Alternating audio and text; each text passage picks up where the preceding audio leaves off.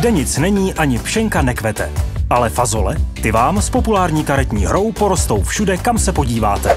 Fazole jsou zábavná hra pro 3 až 5 hráčů, ve které se stanete úspěšnými farmáři. Vaším cílem bude na polích fazole vypěstovat, sklidit a utržit co nejvyšší odměnu. Na některé fazole se obchodníci slétnou jako vosy na lep. Komu se podaří vypěstovat ty nejhodnotnější kombinace, ten má vyděláno. Ve svém tahu každý hráč otočí dvě karty z balíčku. Ty buď zasadí, pokud se mu hodí do již založených záhonů, nebo se je pokusí vyměnit s ostatními hráči. Smlouvání je povoleno. A kdo je vítěz? O tom rozhodne počet zlaťáků, které za své farmaření hráči utržili. Fazole jsou unikátní hra, při které mezi sebou hráči neustále interagují. Mají svižné tempo a pochopí je i děti od 10 let.